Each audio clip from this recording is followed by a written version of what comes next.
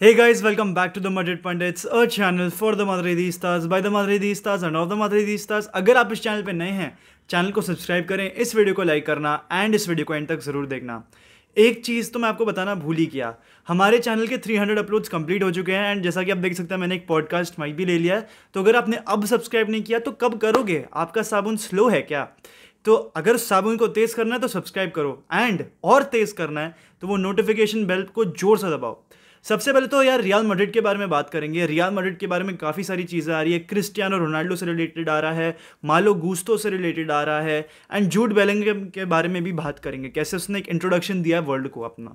सबसे पहले रोनाल्डो को कवर करते हुए, यार, कल तो बहुत ज़ोर शोर से न्यूज़ आ रही थी that Ronaldo is linked with Real Madrid again but ये वाली न्यूज़ मेरे ख्याल से तो सही है कि he is linked and he has offered himself to Real Madrid because lack of option की वजह से because of his age because of the wages is asking for उसको उतने ऑप्शन नहीं मिल रहे हैं। हालाँकि मेरे ख्याल से अगर वो अपनी वेजेस कम करता है तो उसको अच्छी डील्स मिल सकती हैं। अब उस वेजेस में रियल मेड्रिड को उसने अपने आप को ऑफ़र करा है, एक सिक्स मंथ कॉन्ट्रैक्ट में, एक बहुत ही शॉर्ट टर्म डील होगी। अगर एक दोनों पार्टी परस्पेक्टिव से देखूँ, क्योंकि मैं एक रोनाल्डो फ़ैन भी हूँ और मैं एक रियल मेड्रिड अल्ट्रा भी हूँ, आप जानते ही हो। यार ये डील स्पॉट ऑन होगी अगर होती है बिकॉज़ करीम बेंजमा इंजर्ड है, उनको ये सीज़न अपनी फिफ्थ इंजरी हुई है, मैंने कल अपने शॉर्ट में भी डाला था कि उसको अपनी फिफ्थ इंजरी हुई है of this season and it is a very very big worry अभी तो हम बस कह रहे हैं कि वो तीन हफ़्ते तक बाहर रहेंगे, वो चार हफ़्ते तक बाहर रहेंगे but it can be a much much longer time and we wouldn't even know about it इसलिए हमें करीम बेंजमा को लेकर बहुत प्रिजर्वेटिव चलना पड़ेगा, जो भी बड़ा गेम आएगा, हम उसमें हर गेम में रॉद्रिको को नहीं खिला सकते बिकॉज़ वो भी इनकन्सिस्टेंट है। ऑल दो गोल स्कोरिंग वाइज रॉद्रिको भी ठीक खेल रहा है, उसके बट परफॉर्मेंसेज अच्छे नहीं रह रहे हैं काफ़ी बार, ऐसा हुआ है।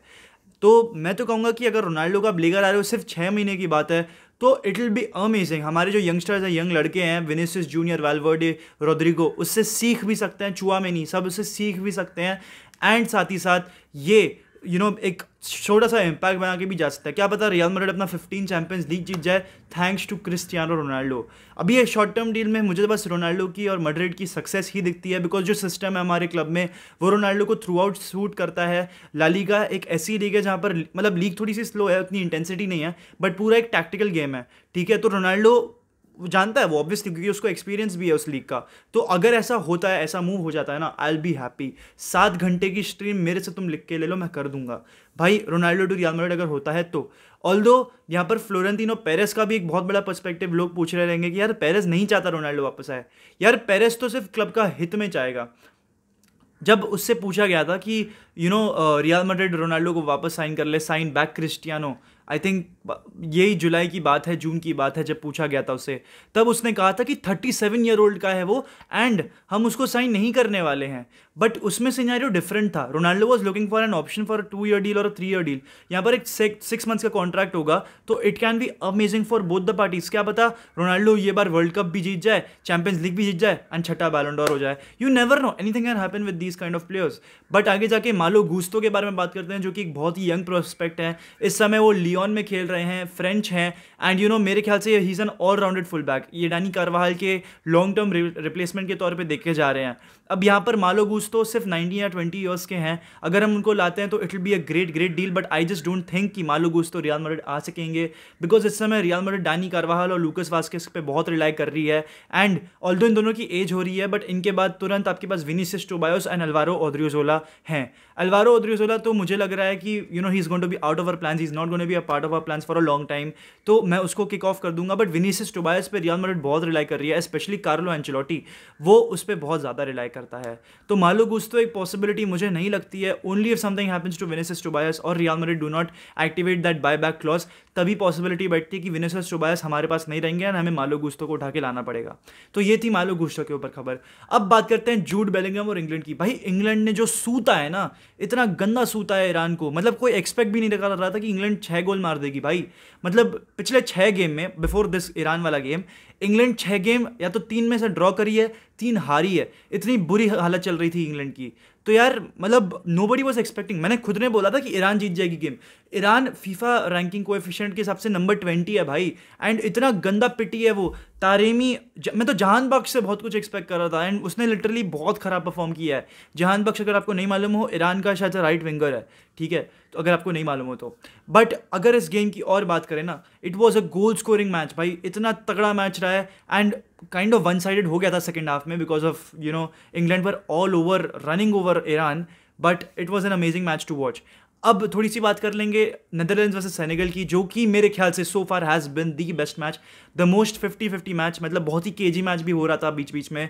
बट नेदरलैंड्स और सेनेगल की अगर मैं बात करूँ ना तो सेनेगल बहुत डायरेक्ट खेल रही थी। सेनेगल का स्टार्टिंग से ही प्लान था that you need to create chances you need to score the goals and kill the game off very very early and Senegal start से ही ये कर रही थी। जैसे ही उनके पास बॉल आ रही थी they were not even recycling the ball progressively pass करके चांसेस क्रिएट कर जा रहे थे. And they were they they had special emphasis on winning the second balls भाई. एंड वो सेकंड बॉल्स को कैसे जीते वो? बाई काउंटर प्रेसिंग दो तीन लोग चढ़ रहे थे एक प्लेयर पे काउंटर प्रेस करके बॉल जीतने में. Netherlands on the other hand पूरा अपोजिट खेल रही थी. नेदरलैंड्स को बस बॉल रखने से मतलब था. They wanted to slow the game down उनको गेम ठंडा करना था. आई थिंक वही उनकी टैक्टिकल थी थॉट प्रोसेस थी कि नेदरलैंड्स तो सिर्फ़ बॉल रिसाइकलिंग पे एम्फोसिस कर रही थी।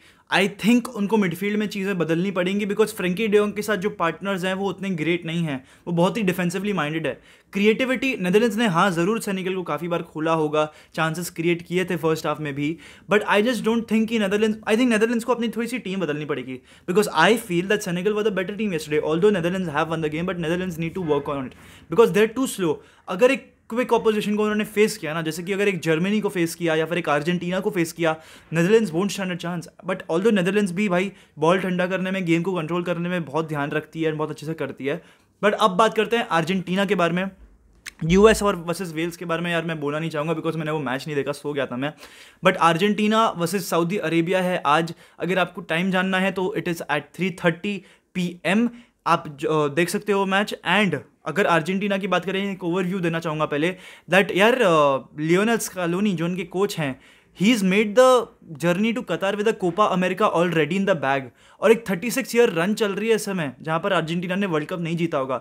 मतलब लिटरली पिछली बार जब अर्जेंटीना ने वर्ल्ड कप जीता था Lionel Messi was not even born भाई।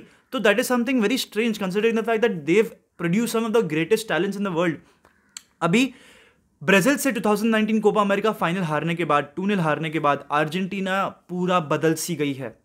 36 गेम अनबीटन रन चल रही है अर्जेंटीना की। They have not lost even one of the game without losing a game and they have won the tournament Copa America and right now Copa America holders बन के वो आ रहे हैं इस वर्ल्ड कप में।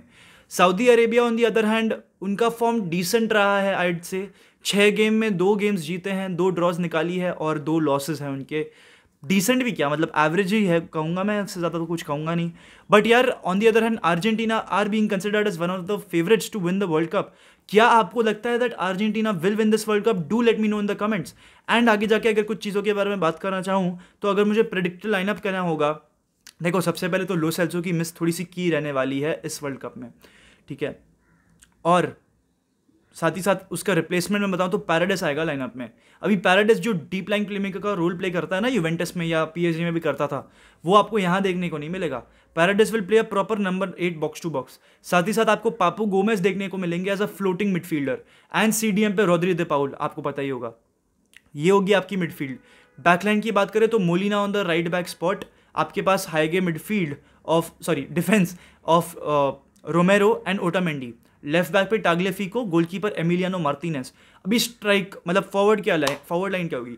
I think Messi is gonna play right wing Di Maria's on your left and Lautaro Martinez as a striker मेरे ख्याल से Messi and Argentina are going to win this game three one do let me know in the comments कि आपकी क्या thrones इस game के बारे में, ठीक है? एंड यार, अगर आप लोग को, आप, काफ़ी लोग मुझसे पूछ रहे थे कि आप किस गेम्स का वॉच अलॉन्ग करोगे? यार स्पेन का वॉच अलॉन्ग ज़रूर होगा। मैं अपनी जर्सी का बस वेट कर रहा हूँ, आ जाएगी एक दो दिन में। एंड साथ ही साथ स्पेन के सारे गेम्स का वॉच अलॉन्ग होने वाला है यहाँ पर। बट यार विद दिस यार, हाला मदरीद इन अदमास हस्तल फिनाल वामुस रियाल सू